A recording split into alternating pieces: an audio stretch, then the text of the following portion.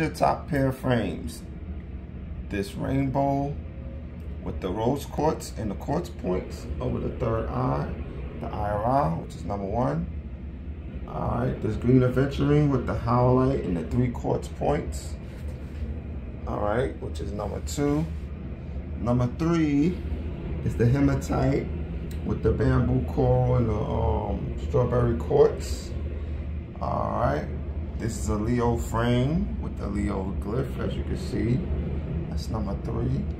Number four, the rose quartz with the clear quartz and the uh, orgonite over the third eye with the hematite or the green aventurine with the evil eye all right on these black frames or these purple lava stones with rose quartz on these very elegant shades copper wrapped